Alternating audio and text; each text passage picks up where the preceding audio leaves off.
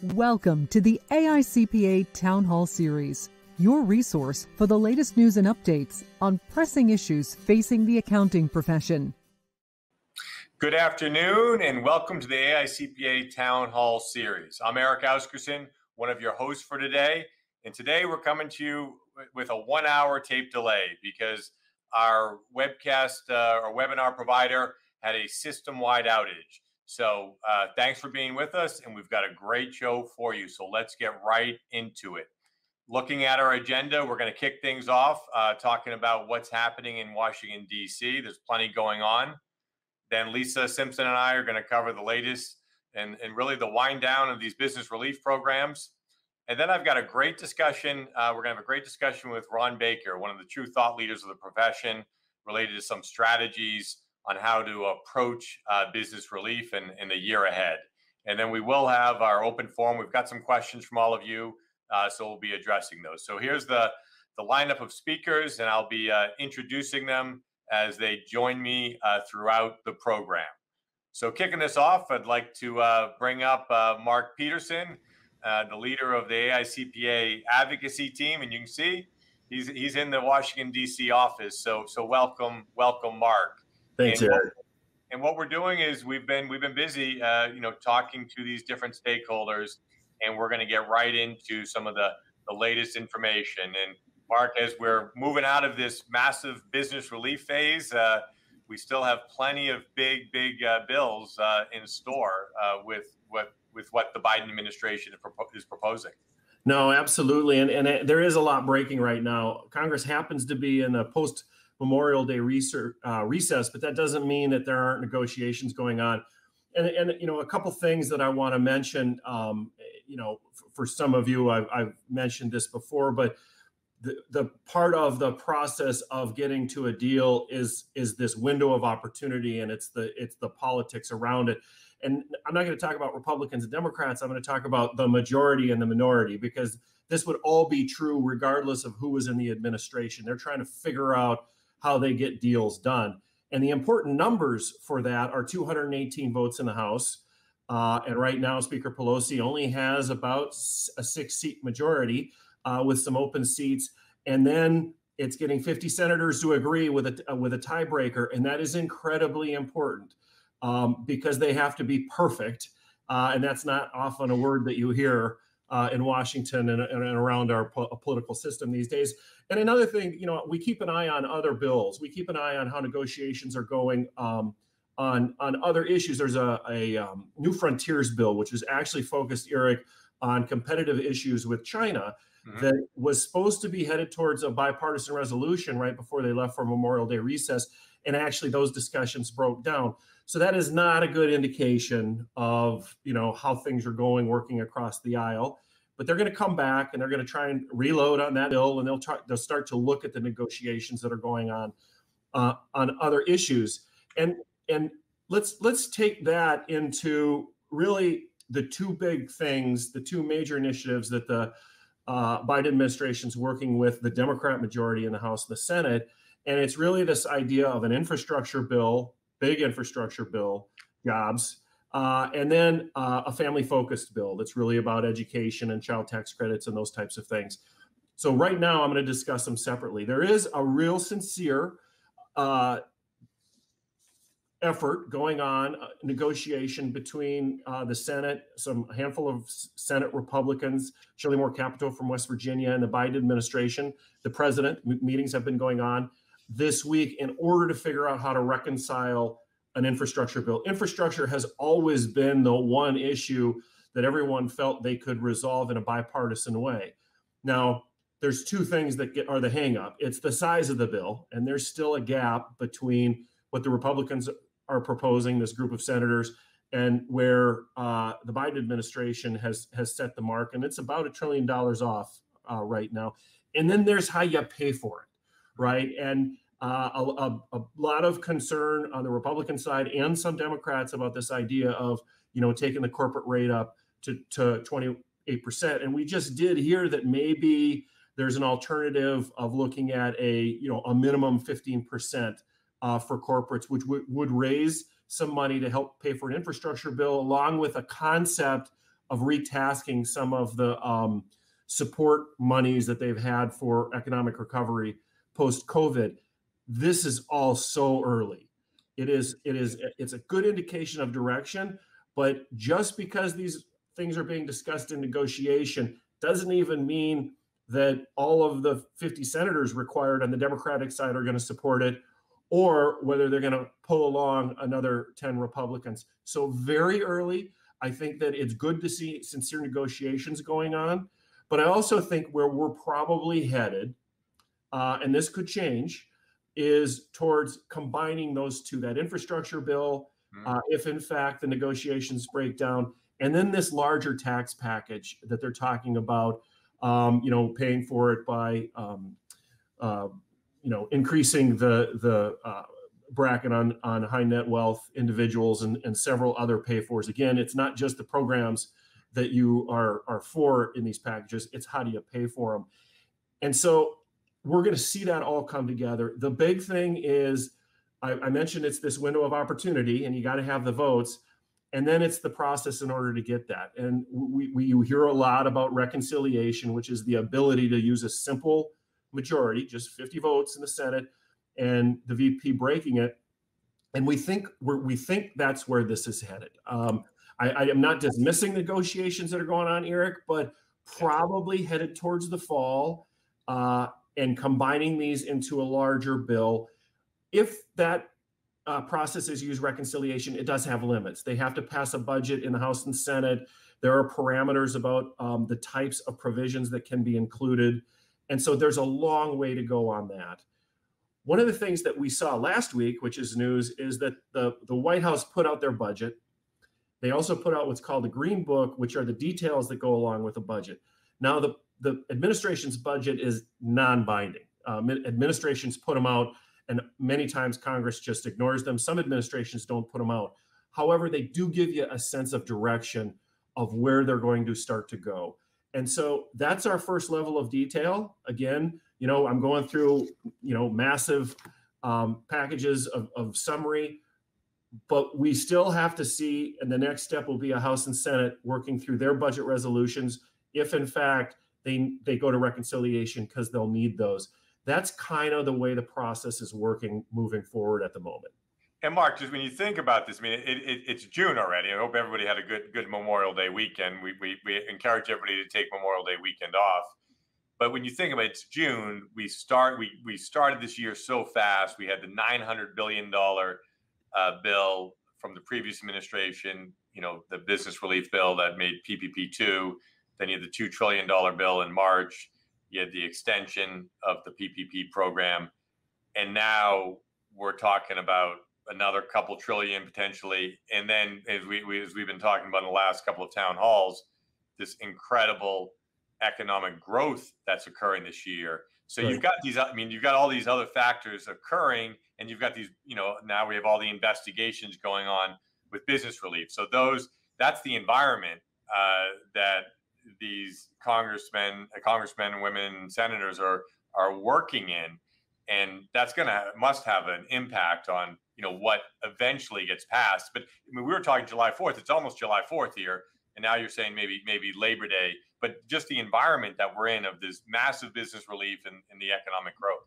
No, there, there's no doubt. It's it, it listen. This, these would be challenging negotiations under different circumstances. But right now, you know, things like the corporate rate.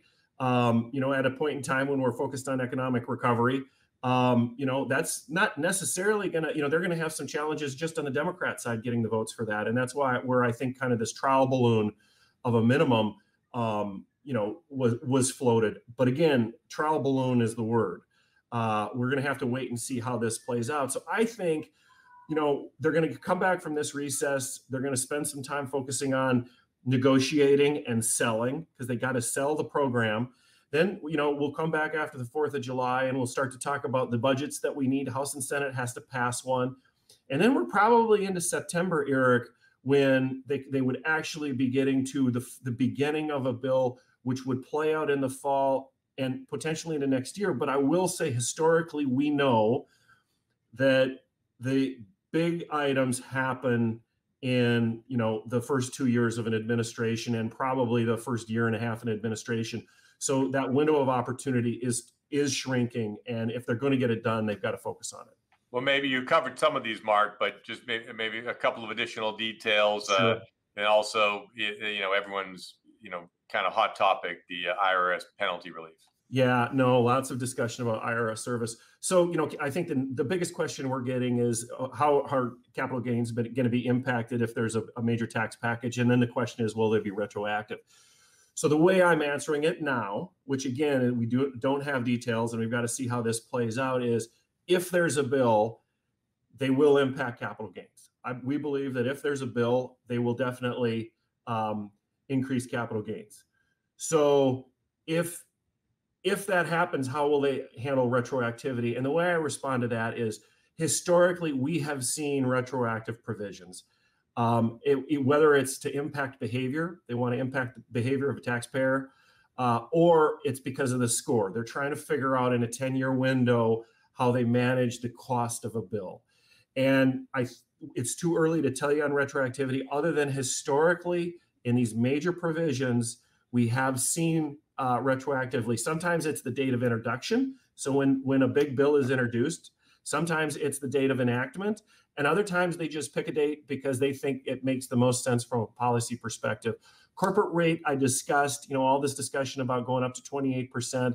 Now this new trial balloon of, of a minimum uh, have yet to be seen. Actually, it sounded a lot to me like what they were talking about on the international side, which was an international minimum of 15%.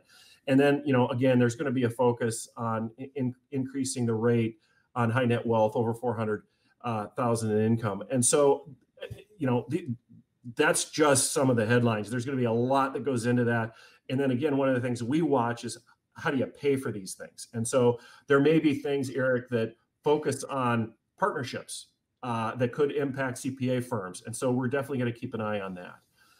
And then, um, you know, just to kind of round things out, because we do hear a lot about uh, IRS service. You know, we've had a, cu- a, rough couple of filing seasons. We know that. Uh, we know that there's a backlog of correspondence. Um, we're working closely with the IRS. Um, you know, they're good people that try hard, but we also have to stick up for the profession when things aren't working. And we know there's, you know, millions of, of backlog correspondence. We know that phone calls are not getting answered. Uh, and so we we have made some recommendations to try and help that. If you can't address the service issue in the backlog, you know, let's focus on some penalty relief. Let's focus on you know expanding um, reasonable cause for more than first time abatement. And then you know, how about even just delaying uh, the notifications that are going out until you know that you've addressed the correspondent issues. There are several others to, that we've made recommendations to, but the idea is to work with both the IRS Treasury and we are, are having conversations on Capitol Hill to address what is just a huge pain point for not only practitioners but for their clients. And I'm, you know, telling a group that knows that full well. Well, Mark, a good, great summary. We'll bring you back for open forum, and there's a lot. I mean, the IRS is busy, and we're going to get into the SBA, and the SBA has got a, got a lot of work. And then, then you've got you got ERC. So there's so much relief out there. There's so much uh, you know different uh, compliance elements that need to get through these these governmental agencies. So uh, it's uh, it, things are be maybe slowing down, but there's still there's still a lot lot to be done. Absolutely. So th- thanks, Mark, and uh, let's uh, bring Lisa Simpson up. So Lisa, as I said, we're in a one-hour uh, you know tape delay here. So welcome.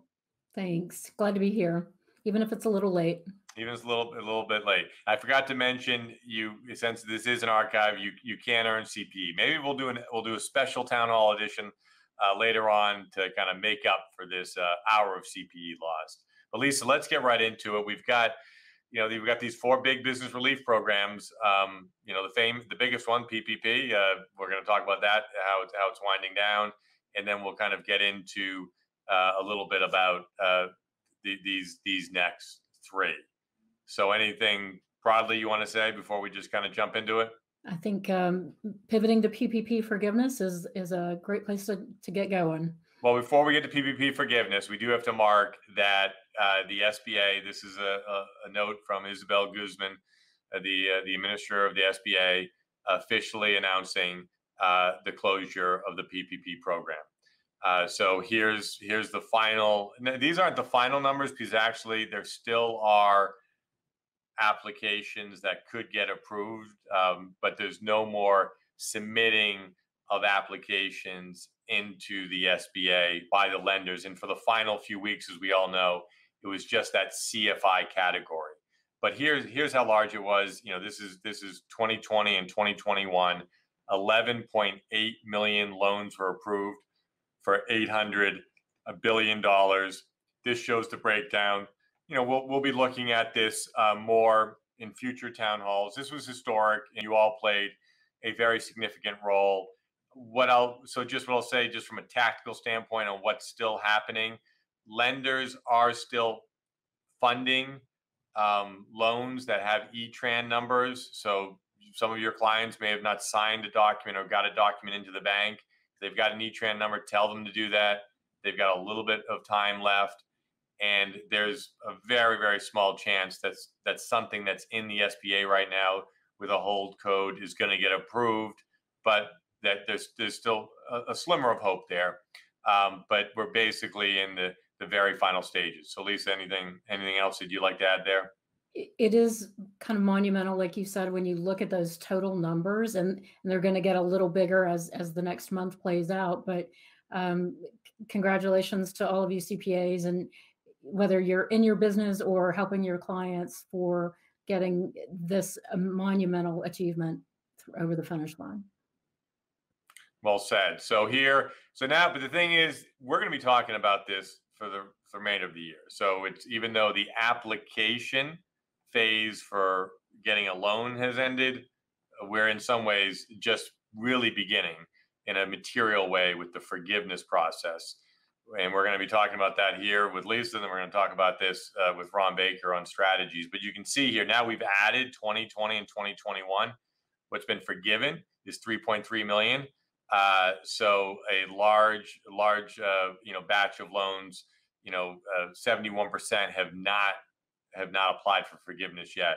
So a lot of lot of work that needs to be done. These small businesses got to get these forgiveness applications in, and and and the and the clock is ticking, uh, Lisa, for that.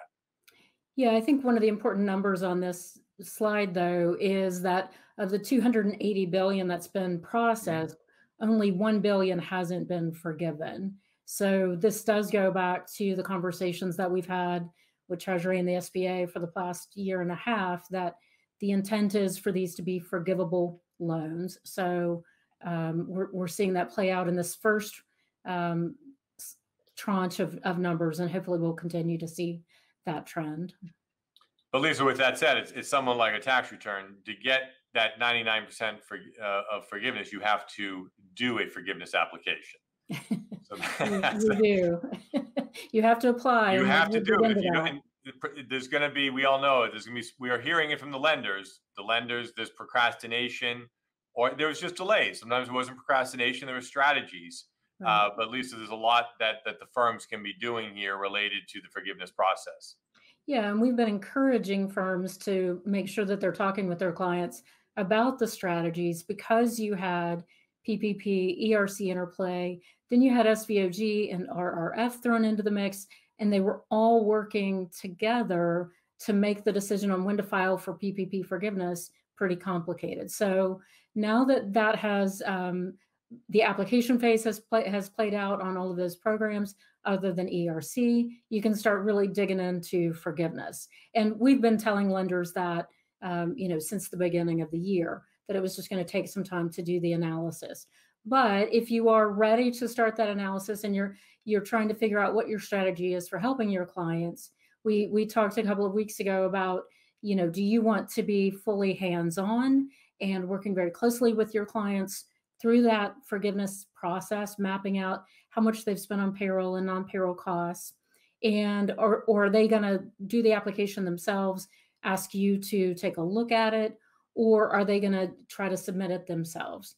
So as you're talking about the services that you want to provide to your clients, we have some resources to help you around structuring those services. So we have a forgiveness services matrix that gives you links to engagement letters, links to sample procedures that, that we're in the process of updating.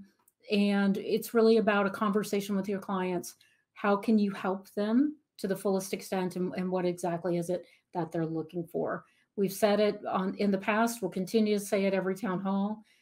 Be really careful about your forgiveness applications because the process of amending a forgiveness application is going to be really tough. It's not like amending a tax return. It's not like going back for a, an amended payroll tax filing.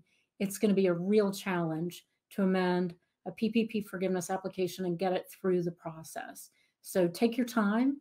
Make sure that as you're helping your clients at the level that, that you've agreed to, that the documentation is complete and that you're you're helping them gather and accumulate a complete application file. Here's one of the questions that we've been getting quite frequently these days. Um, if you have a client or if you were a business who got a loan early in April 2020, the, so the first round of PPP, then you might be wondering, uh-oh, when are my payments due? And the question that we're getting is framed as, um, if the borrower's already applied for forgiveness, do they have to begin making payments while they're waiting on the forgiveness determination? So lots of words on this slide. I've given you a link to the guidance from uh, January 19, 2020 I, or 2021 IFR on forgiveness. I've pulled out in purple what I think is most relevant for this particular question. So it says, if the borrower does not apply for forgiveness within 10 months after the last day of the longest available cover period, which is 24 weeks, or if the SBA has decided that the loan is not eligible for forgiveness either totally or just a part of it, the payments are no longer deferred and the borrower must begin making payments. Then it's up to the lender to say, okay, here are the amount of your payments and here's when they are due. So that's what the IFR says. But what does that really mean? And so on the next slide, well, this is this is a this is a, it's a it's a Lisa special slide, but this is a good takeaway slide, and, and, and it does refer to that IFR that that we think is is important related to this process. Absolutely, but but in talking to lenders, there's there's still a little bit of confusion about it because they're not sure if the um, loan if the payment deferral is stopped because the borrower has submitted an application to the lender or is it a full and complete application and the and the lenders made their decision, or is it deferred until um, the SBA comes back with their decision? So we don't think that waiting for the SBA decision is um, is is relevant in our understanding of that IFR that I just read you. When the borrower submits the application, it seems like the payment um, deferral would continue.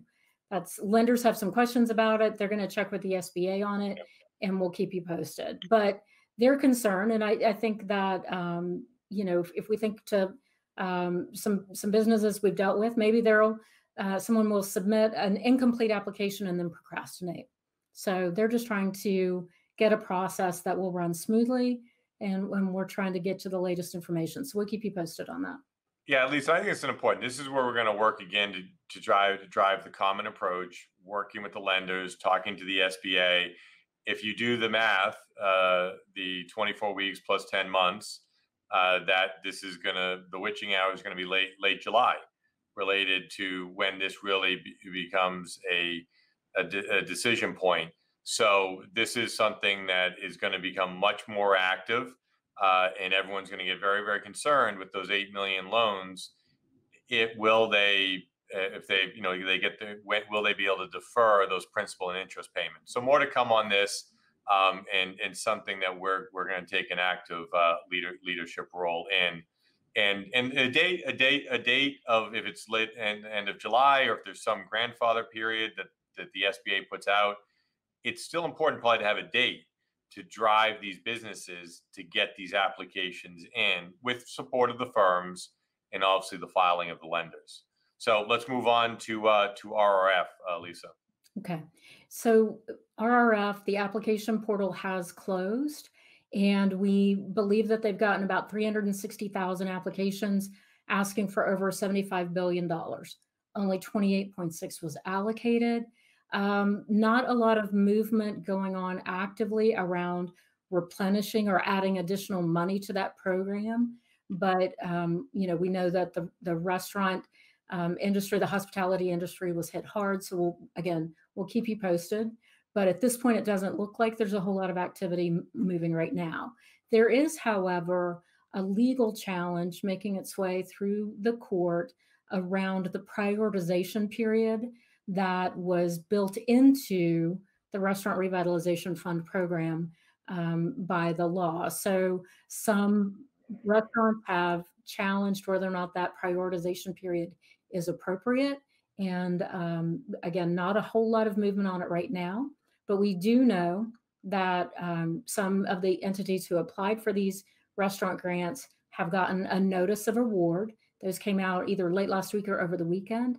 And this week, some businesses are actually getting funded. Um, the numbers around what's actually been approved, what's actually being sent out the door are hard to find. We, we've been talking with folks at um, hospitality associations and they don't have them either. So a, a little darkness around the numbers there, but um, we'll keep an eye out for them. A lot of anxiety. When you talk to the firms out there, there's anxiety uh, where your clients stand, and there's obviously some frustration with some of the uh, groups that are doing these legal challenges uh, that that were that are not eligible uh, due to how how the criteria was set. So I, I, don't even know if you saw this, Lisa. Right before we came on, there was some there was some data that that came out on the number. Did you see the number? I did. Shuttered venue operator grant. I just saw it. Oh, yeah. Thirty-one. They've funded uh, 30, 30, 31. They've gotten thirteen thousand applications, and thirty-one have been approved and funded uh, for you know under like under twenty, less than under thirty million dollars. So. Uh, it's uh, it started April 8th, and two months in, uh, $30 million has been distributed. So it's a little bit slower than maybe the distribution that occurred um, in 2020 around PPP. Yeah, I, I, hadn't heard that number, so thanks for sharing that one. This one is obviously having a, a, a hard time getting off the ground, but we did get notices um, last week that the priority award notices have been going out. And um, if you do have any clients or if you did apply for one of these, it's important that you physically log into the system because they want you to confirm some information before they will distribute the funds. I've also seen, media reports of um, some applicants being rejected because they're in the um, hey, sorry, but you're dead file. So um, we got some cleaning up that needs to happen within SVOG, similar to some of those hold codes that came up in PPP earlier this year. All right, we couldn't let a day go by without talking about employee retention credit.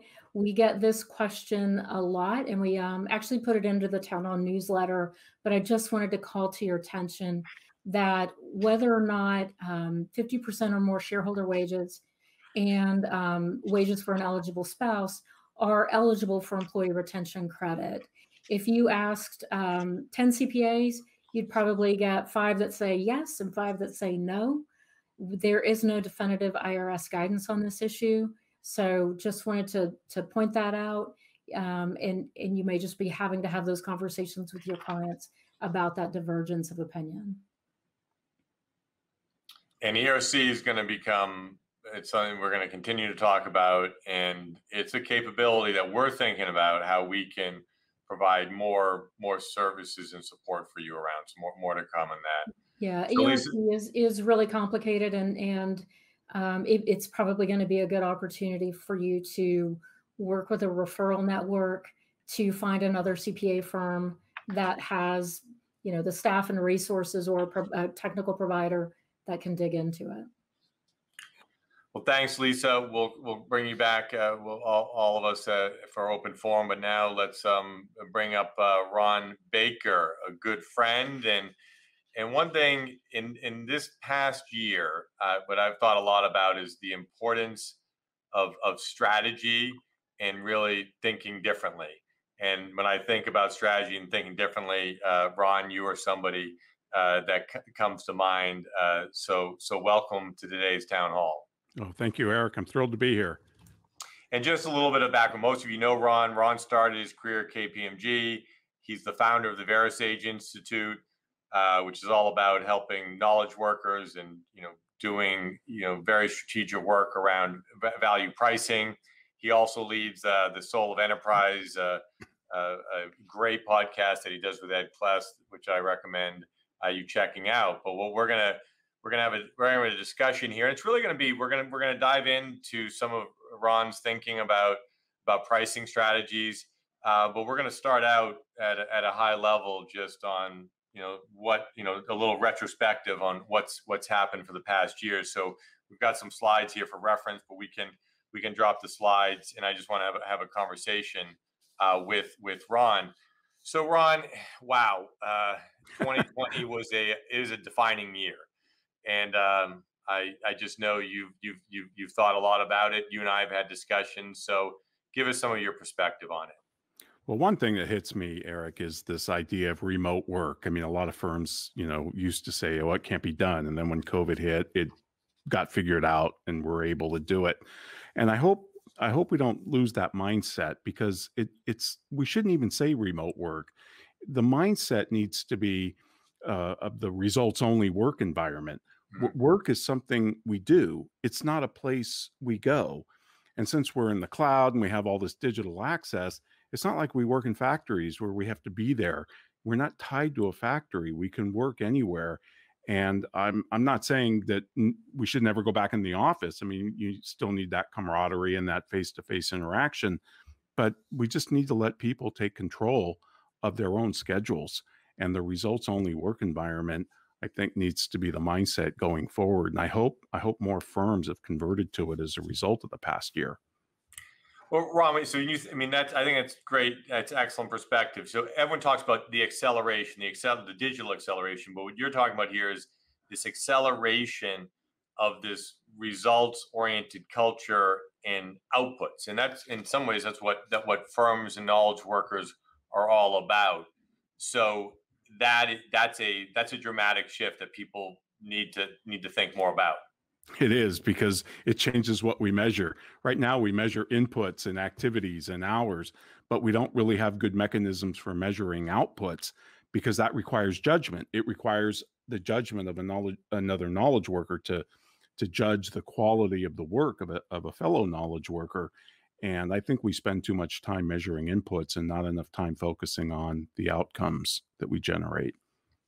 Well, let's let's what uh, this year at conferences we're gonna there's gonna be if there's one talk about how to return to work, there's gonna be ten, Ron, and and is what you and I discussed before today. There's not a one size fits all. So you you're hearing strategies. Uh, if it's Goldman Sachs saying they're bringing 100% of their workforce back, uh, you've got another technology firm saying we're all going remote. So that this is in some ways that's going to add to confusion. Who's right? And and I, you know my thinking is that they're they're probably both right because you can't look at this um, in a in a in a one size fits all approach. But maybe a couple of comments from you on that.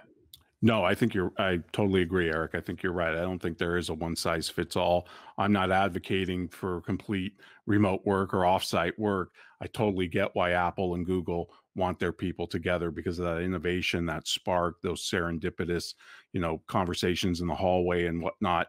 Uh, all I'm really arguing for is more, no matter whether you're remote or in the office, we should be judged on the results that we create not the time that we put in, because I think that's a flawed measurement. You can't measure the value of a knowledge worker's contributions by the amount of time that they spend on something. It's the equivalent of plunging a ruler into the oven to determine its temp its temperature. It's the wrong measuring stick.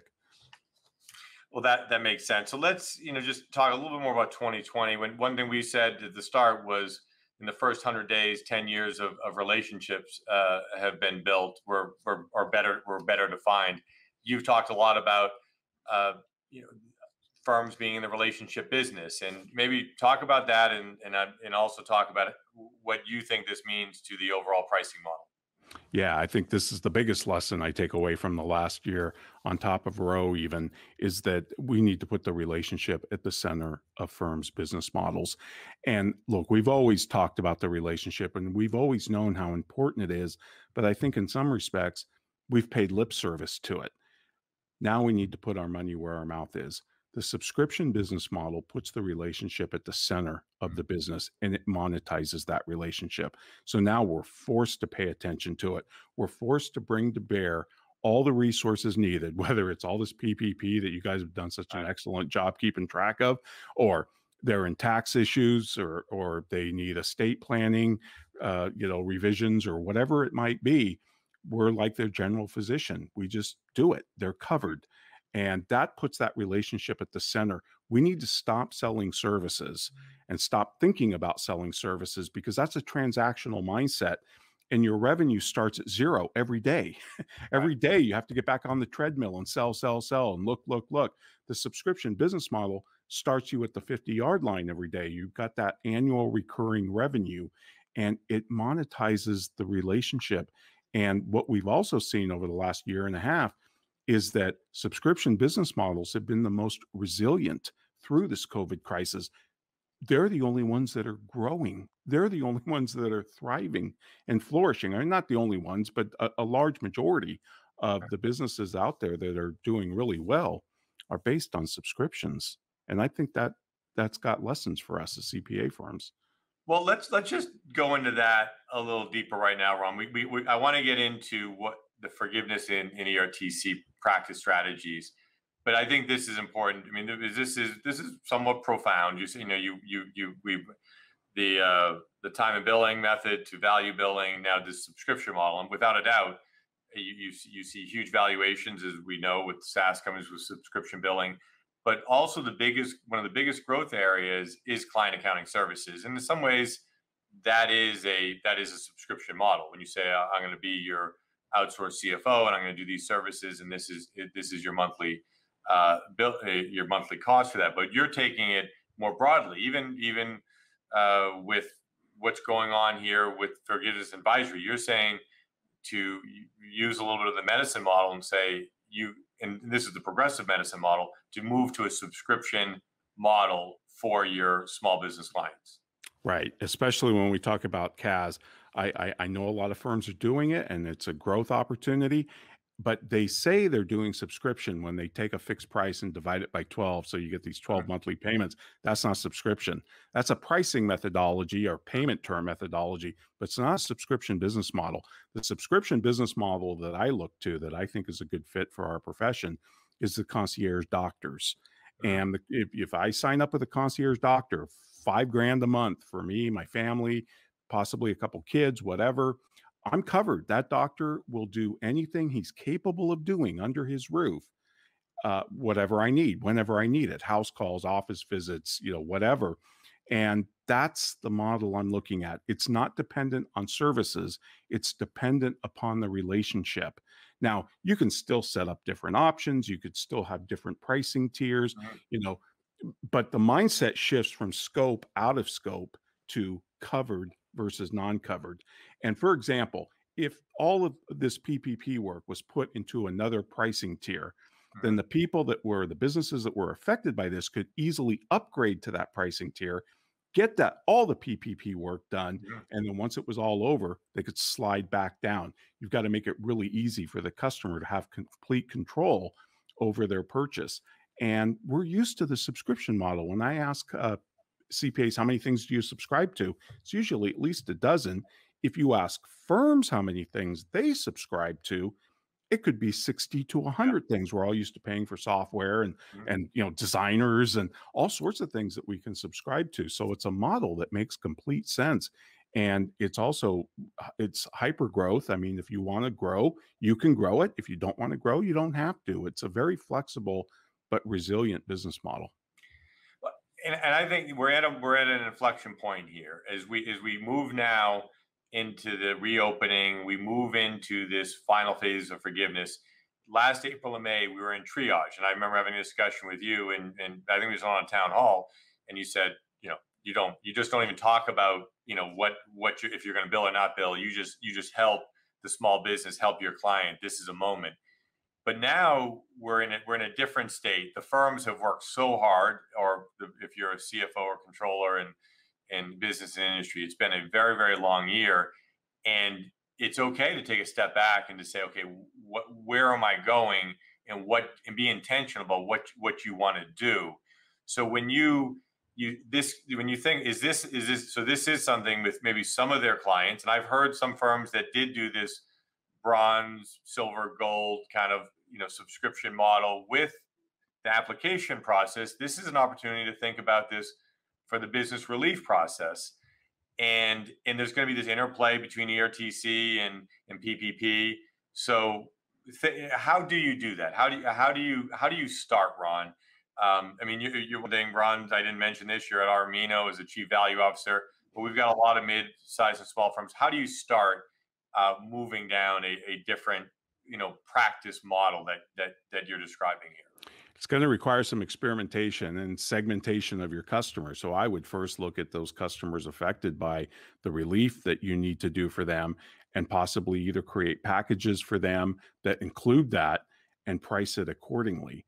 Uh, the great thing about moving to subscription is you're since you're also giving the customer peace of mind and you're selling outcomes now. You're not selling services. We're not tied to services. We're tied to outcomes and that peace of mind and the convenience. It's also a very frictionless business model. There's not a lot of paperwork. Your payments come in. It, it, there's not a lot of billing. There's not all this, you know, timesheet and WIP and all this stuff that we spend a lot of time that creates zero value, or even I would argue detracts from value. Um, we're selling outcomes, and I think this is a really good time to make that shift. Now, I'm not saying that shift is easy, but if you're committed to it, you can certainly do it. You can offer it maybe to a certain uh, tier of customer, or maybe just start with your business customers, but you have to be committed to it because I don't think you can operate two business models inside the same firm. And if you're really concerned about a firm's uh, willingness to make the transition, maybe the smart thing to do is set up a separate firm that's completely independent uh, and run the subscription model out of there. Well, that that's definitely a provocative uh, uh, idea. Well, let let's let's just let's t- move on and talk a little bit about some of the things, Ron, that that that's happening in the marketplace related to these different you know relief programs and and some of the other. I mean, I want the audience to know here that we are seeing this contingency pricing uh, occur with ERTC, where if you Google that, there's a there's a bunch of consultants, non CPA firms, because a licensed CPA firm cannot do the contingency fee for for an ERTC filing, offering 10%. You know, they'll do it, uh, they'll do it, they'll do the full return um, and take 10%. Sometimes these these tax credits could be worth a million dollars. They're charging 100,000. Seeing the same thing for forgiveness. Um, some some mark, you know, putting price points of you know five to ten to twenty thousand dollars to do a forgiveness application. So, as a, as a pricing expert, how do you, how do you how do you see that, and how how should the firm respond to that or advise their clients on that? Yeah, and this is something that we have to put up in a lot of different things, right? Because we're getting competition from outside the profession everywhere but audit really uh, my dad was a barber eric and when mm-hmm. supercuts came out uh, he put a sign up in uh, over the front of his shop that said, "We fix six dollar haircuts." There you go. Um, and I thought that that was a really good message he sent to his customers. I mean, get what you pay for. But the the, the deeper point is, if the relationship with the customer was deeper, then when they get these solicitations from these uh, competitors, your your customers wouldn't pay any attention to them because you handle that it's like I'm not going to listen to, I'm not going to pay attention to solicitations for another doctor if I'm subscribed to mine. That's the beauty of subscribing to a firm rather than just purchasing uh, services and engaging in transaction after transaction. You've actually got a relationship that's deep and meaningful. And I, and I think that's in it, it's important to keep that in perspective. And also, I mean, to understand you you need to have the basic awareness and, and as lisa just mentioned to partner. There might be if you don't want to get into ertc uh, to partner with a firm to find the right firm uh, to provide that service.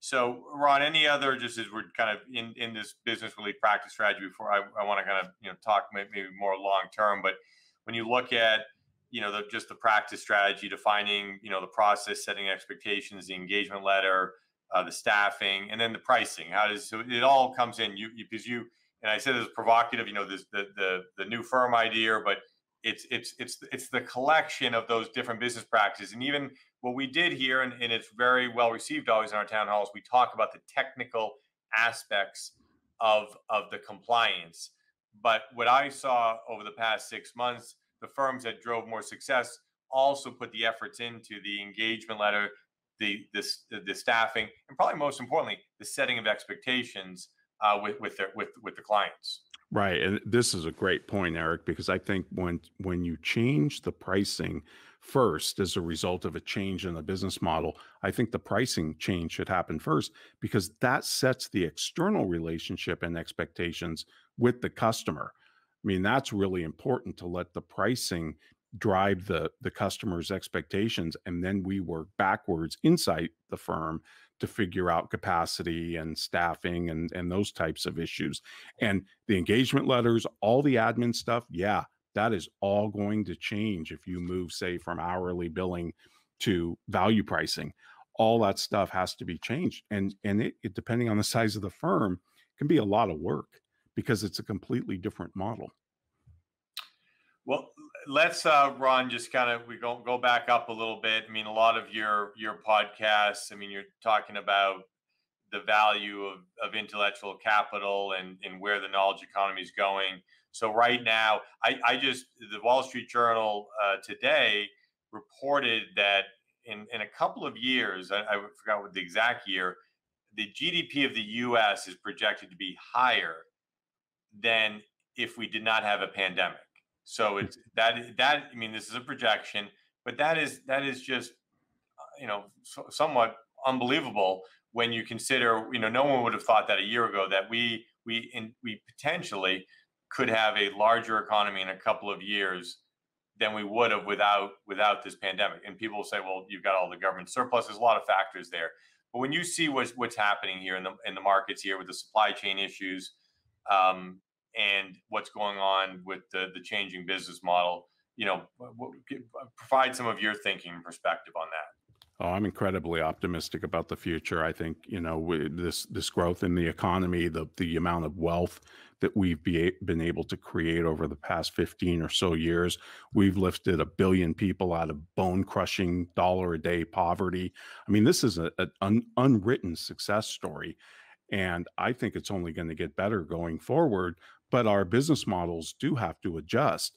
Uh, I'll just give you a quick example, Eric. Um, there's a Scandinavian eyewear company, um, optical optics company. They sell glasses and they do eye exams, things like that. They have about 3,500 employees called Synsam. And in 2015, a new group of management came into the C-suite and they mm-hmm. said, "We're going to launch a subscription program." Now, the optical industry is a very staid, mature industry. Hasn't seen a lot of innovation for quite a while. And all the experts in the industry said, this will never work. Nobody's going to subscribe to eyeglasses. What are you guys mm, kidding yourself? You know, you get eyeglasses, you you have to go and get an exam, you get a prescription written, maybe you get it mm-hmm. filled online, whatever. These guys launched this program. As of the end of last year, they've had 280,000 active subscribers because here's the thing they are not selling an eye exam and then glasses, they're selling perfect eyesight mm-hmm. because that's what the customer is paying for. We need to focus on what the customer is paying us for, which is an outcome. And the definition of a professional is to take responsibility for delivering an outcome, not a series of tasks. And I think the billable hour, and even to some extent value pricing focuses too much on the tasks the the the uh, outputs but not enough on the outcomes and the subscription model puts the outcomes at the center and as that happens that brings real dynamic and robust growth and profitability to a firm well, I, I, think it's so profound. I mean, in this, I mean, we're stretching. Uh, I think our town halls thinking today, and when you think about the complexity that we're living in and the, the needs for this knowledge worker. It was a hard year. It was a hard year for the knowledge worker.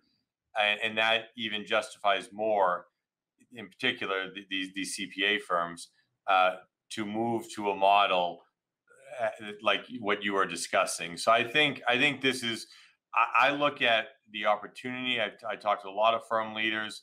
There's a huge, huge demand for accounting services and it's it's just like that eye manufacturer in Scandinavia. You got to think differently. I think think differently. So this is this is what this was about, thinking differently. Uh, so thanks, Ron. I, I wish this was a, a, live one. We're going to get feedback on the next one. Sometimes we get hundreds and hundreds of questions. I know today we would have been getting questions, uh, people agreeing with you, and guess what? Some people disagree sure. uh, with you. So any any concluding remarks before we kind of bring our bring our group back? Yeah, just to your point, Eric, and it's a great one. I think in times of, of economic crisis, I mean, look at the depression of the 1930s, look at the stagflation of the 1970s. We saw incredible innovation, mm-hmm. right? Microsoft, Apple came grew, grew out of those uh, crises, and I think we're at that same point of inflection in the profession where we can come up with new business models. Business models change and we have to keep up with the times. We can't just we just can't ignore it and i don't think you can ignore subscription. I think in five years you, you may not you may not subscribe to everything but you will have the option to subscribe to everything and even if your firm ignores that you're still going to have to deal with it because your competition will be offering it. Well that's that's a great great ending kind of uh, thought there. So thanks ron and just stay with us and let's uh, bring uh, Lisa and Mark back up. Thank and you, uh, Lisa, I know you uh, PCPS group uh, and AICPA, the firm group. Uh, you've done a lot of work with uh, with Ron Baker over the years. Is there anything you want to kind of add to the discussion or uh, or question for Ron? I, I thought Ron, your insights around how to get started were really helpful, and now's the time. We've gotten through busy season. Firms are going to be taking some time this summer, hopefully, to think about their firm strategies. So you've given them a lot to think about. We're actually working within the PCPS team. We're working on some resources to help firms kind of blow up their business model and just challenge are these the the services I would be offering if I started my firm today? Right. Are these the clients I would be marketing to if I started my firm today? Is this how I would price my work if I started it today? So great conversation and, and great setup to get some some really good creative juices flowing over the next couple of months. That's awesome. And I just point out that at Engage, my session is on what I call value pricing 2.0 or the subscription business model. So we'll yeah. be talking about it there too. Definitely looking forward to that one. That's good. You got a, you, do you need a, is it, how long is that presentation? Is it an hour or is it one of those hour and 50 minute ones? I think it's an hour. An hour. Okay. Well, at least one thing just, just on that, that comment, like firm, I'm here, you know, here we are. So we're reopening We've got we've got a few of us back in the office. We're hybrid today. It's a hybrid town hall. And and what are you hearing about retreats? I mean, are you I mean so just to come back and and to try to find the time? I mean, they've been doing the they've been doing the, the task that Ron been speaking about. Well, what are you hearing about about retreats? That's a great question. Firms are they, they've been apart for so long they haven't gotten their their partner groups together or their entire firm group together some are actively planning um, and offsite, even though they've been offsite for a year, they're planning on getting back together just because there is that beauty in collaborating in a room together. So you can't do everything remotely. Um, so so they're looking forward to trying to figure out a way to get back together and and do some of that brainstorming.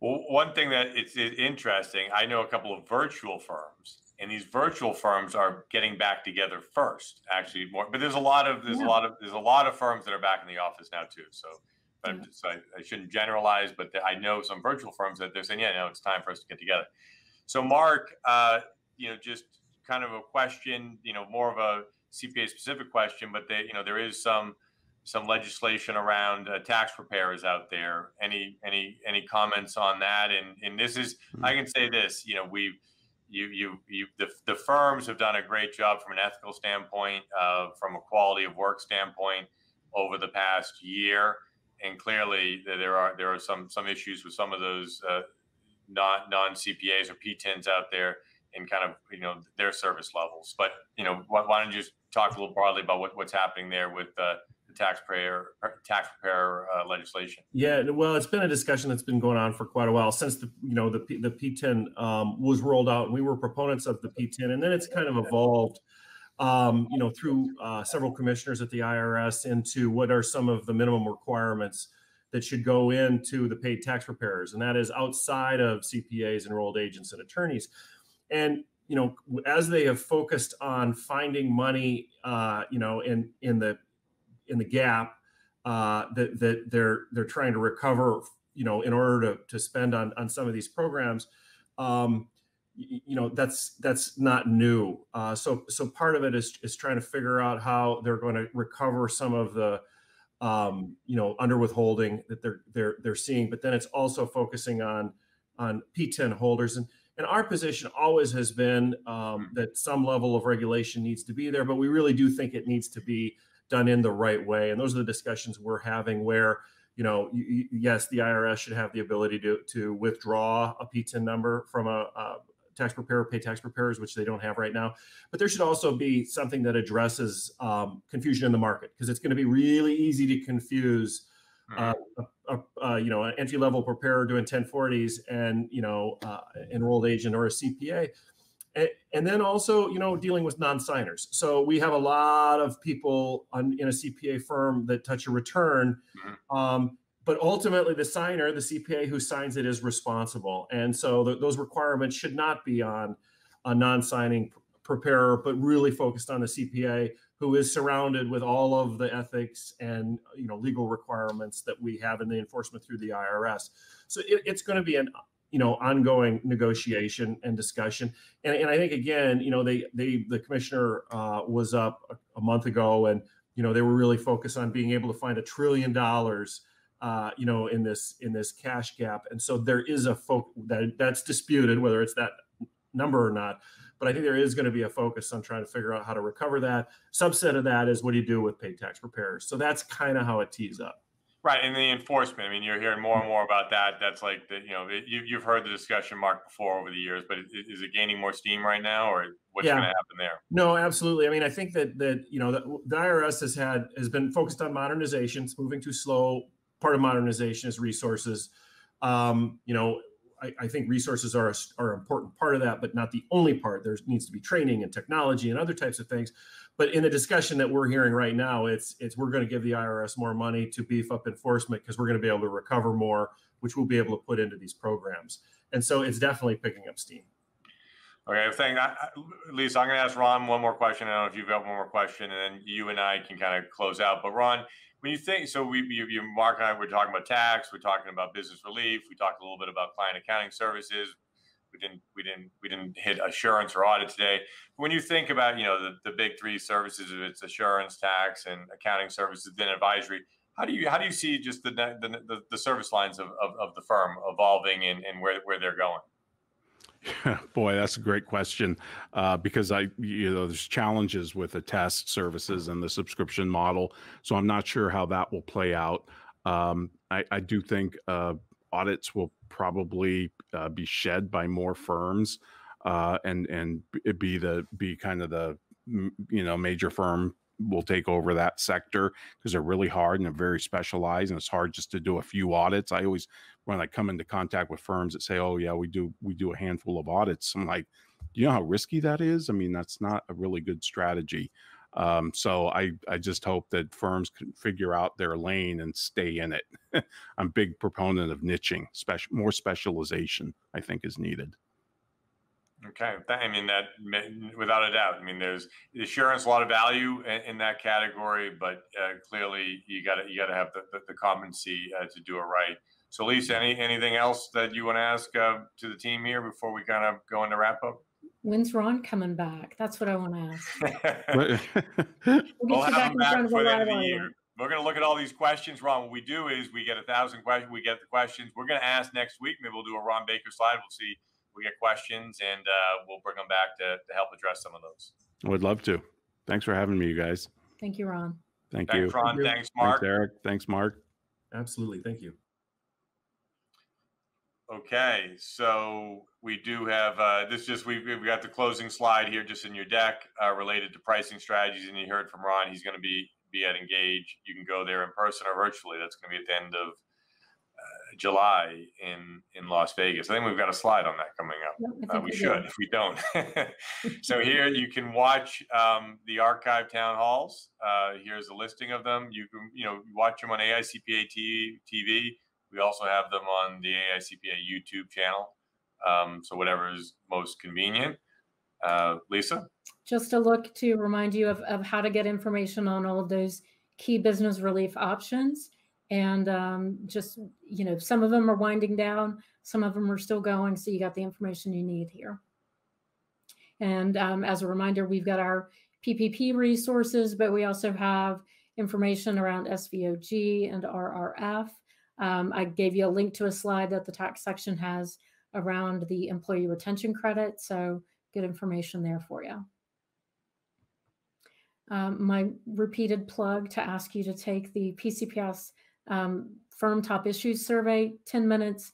It's a quick hit and it really helps us focus on identifying what the top challenges are by firm size, mapping those to resources for you, or identifying gaps or potential topics for future town halls. So this is your chance to have your voice heard. Uh, PPP resource that we'll continue to update as forgiveness fleshes out a little bit is always available for you. And just talking about, you know, evolution of kind of business models in a very, very hot area in the client accounting. We have a few acronyms here in the client accounting services practice that Ron and I were talking about, FP&A, uh, financial planning and analysis, uh, future of your CAS practice. We've got a great group here doing this uh, webinar next uh, when, next Wednesday, June 9th. This is a free webinar, uh, 1 to 2 p.m. We got some firm leaders uh, and, a, a, leading solution uh, talking about how talking about where this category is going with with Tom Hood and, and Michael Cerami. And then we will have our next town hall on June 17th. We're going to come back to you live. It'll be a live one. So this is this is the the first tape delayed town hall. So hope you enjoyed it. Uh, great session uh, with Ron Baker, Mark Peterson, and and Lisa Simpson as usual. And we will have Barry Melancon uh, with us on the 17th, along with Tom Hood and the, the CFO of TIAA, uh, a very you know st- strategic organization. Uh, so you are all registered um, uh, automatically uh, for these town halls, as you well know, and we got that notification out to you today uh, related to today's change. So hopefully that worked out well. So stay tuned with us on LinkedIn and Twitter. Uh, that's all for now. I have a good couple of weeks, and uh, we'll see you on June 17th. Thank you for your participation. You can now subscribe to the AICPA Town Hall series on your favorite podcast platform, as well as watch archives on YouTube and AICPA TV.